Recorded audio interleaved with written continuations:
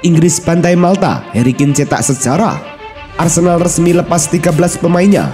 Jerman tumbang di kandang Polandia.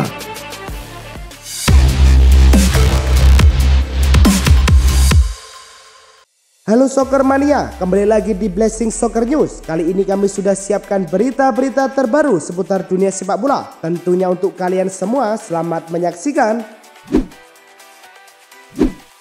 Tottenham telah memutuskan untuk tidak mengontrak Clement Lenglet secara permanen, yang berarti dia akan kembali ke Barcelona. Pelatih baru Spurs yakni Ings Postecoglou yang telah membuat keputusan bahwa dirinya tidak akan memasukkan Lenglet ke dalam skuad. Lenglet juga tak punya masa depan di Barcelona. Asalnya, ia adalah salah satu pemain yang berpenghasilan tinggi. Penting bagi La Azulgrana untuk mencarikan Lenglet klub baru pada musim panas ini. Masa depan Mohamed Salah di Anfield telah menjadi bahan spekulasi dengan laporan di media Prancis yang mengeklaim bahwa PSG tertarik untuk mendapatkan jasanya. Presiden Nasser Al-Khelaifi bahkan telah bertemu dengan Salah di Maroko buat mencapai kesepakatan dan meyakinkannya untuk pindah. Namun, agen Salah Rami Abbas Isa dengan tegas membantah laporan tersebut dengan menulis di Twitter, "Tidak, dia tidak melakukannya." Itulah cerita singkatnya. Enzo Fernandez sering diminta mengisi peran gelandang bertahan pada musim perdananya di Chelsea.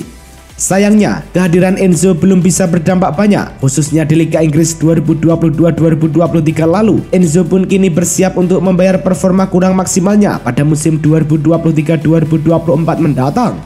Namun, di musim depan ia menginginkan bermain lebih ke depan dan bakal berbicara kepada Mauricio Pochettino yang menjabat sebagai pelatih anyar The Blues.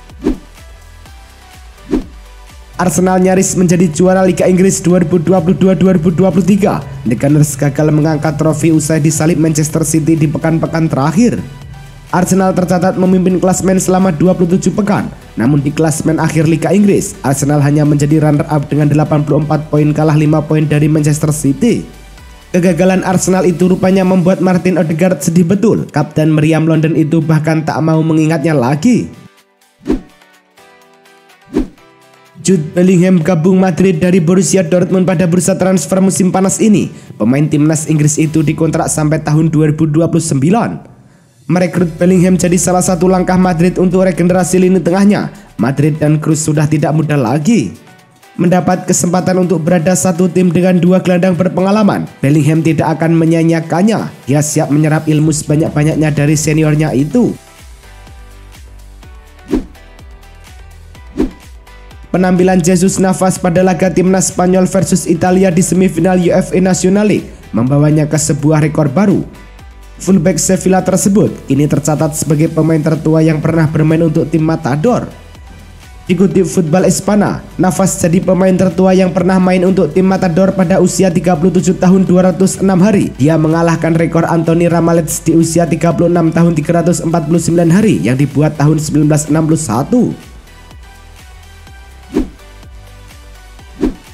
Kontrak gelandang Borussia Dortmund Emre Can di Signal Iduna Park hanya tersisa hingga Juni tahun 2024 mendatang.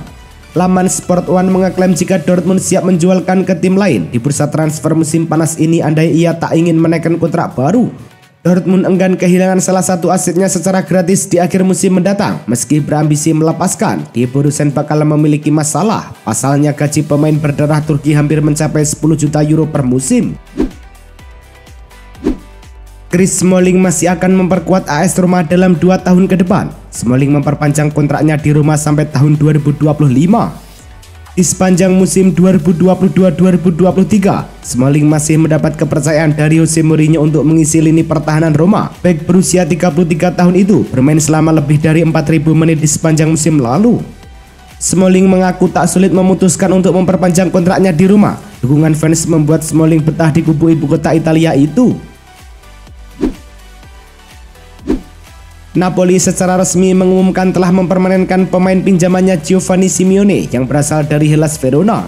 Simeone dihadiahi kontrak dengan durasi 3 tahun sampai tahun 2026 dan juga opsi perpanjangan satu tahun berkat penampilan apiknya membawa Partenope meraih Scudetto. Adapun dari harga sang pemain dari laman resminya Napoli tidak menyebutkan, namun menurut Fabrizio Romano, sang striker dipermanenkan dengan biaya 12 juta euro.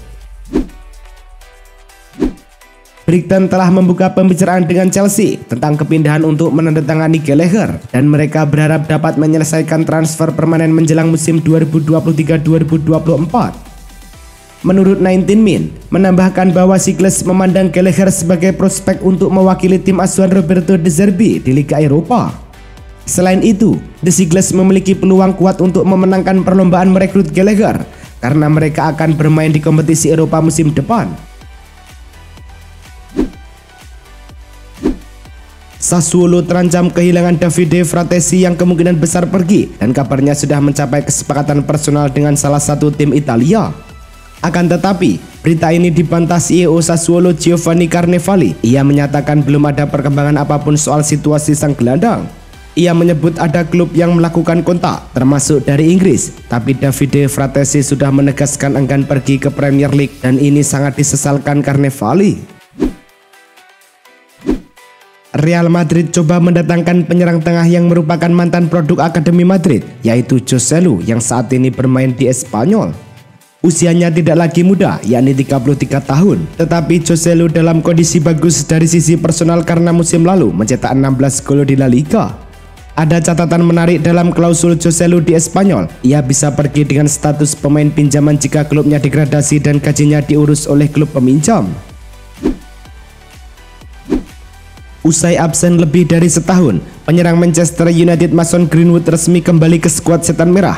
Namanya tercantum dalam daftar pemain Manchester United untuk musim depan. Pada laman resmi mereka, Manchester United tidak menjelaskan secara rinci deskripsi bahwa mereka mempertahankan Greenwood.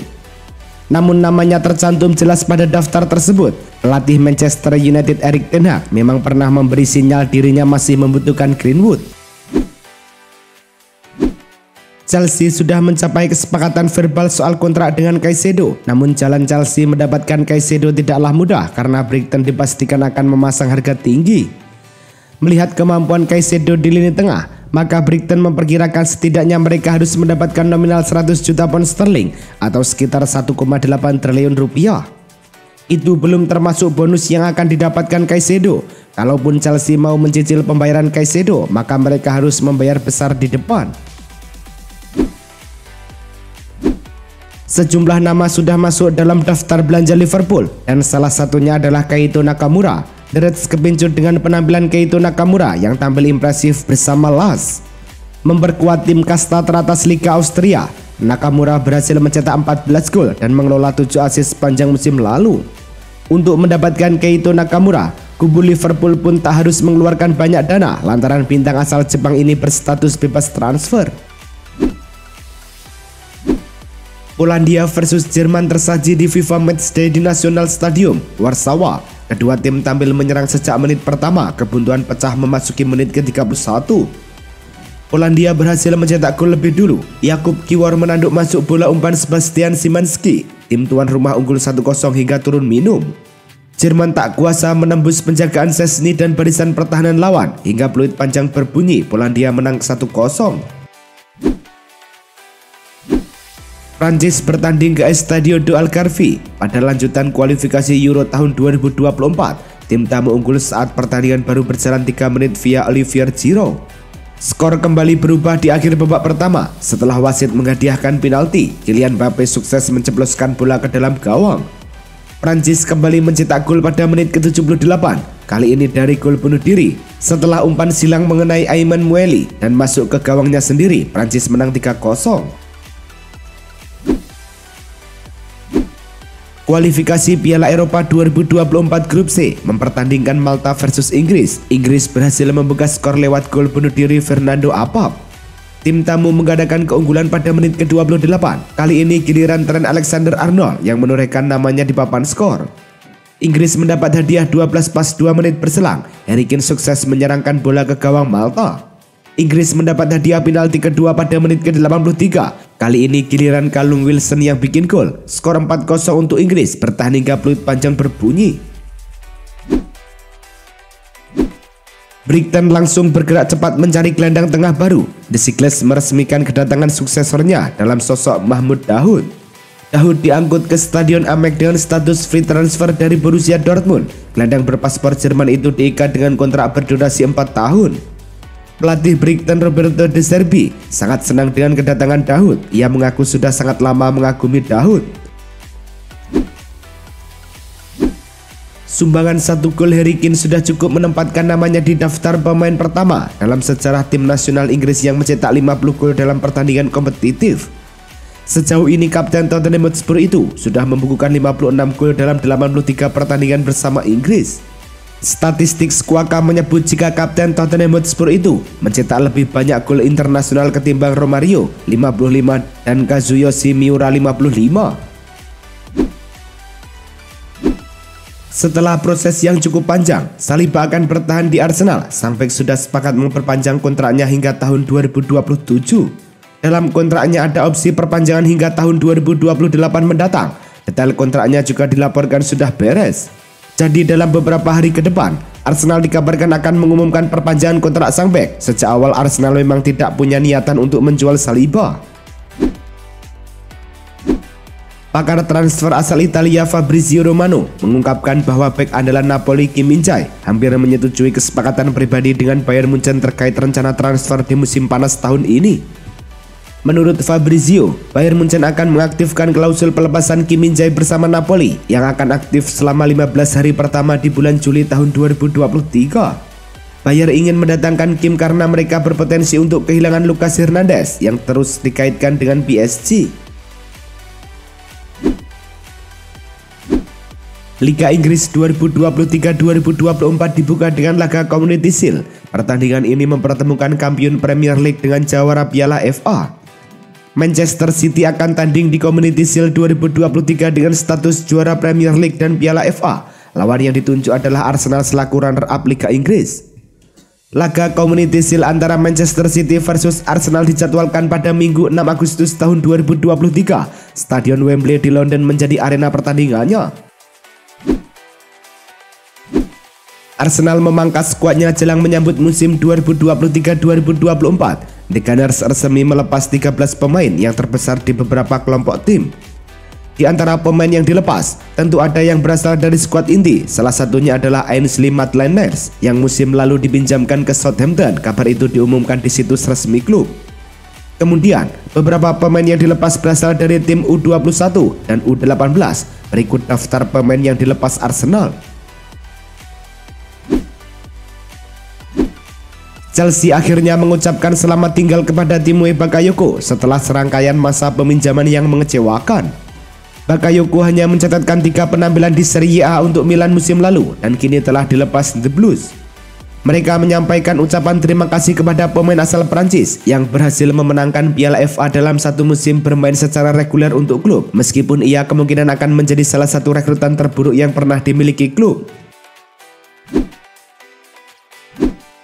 Itulah tadi kumpulan berita-berita terbaru dari kami. Simak terus berita-berita terbaru lainnya dan jangan lupa like, komen, dan juga subscribe.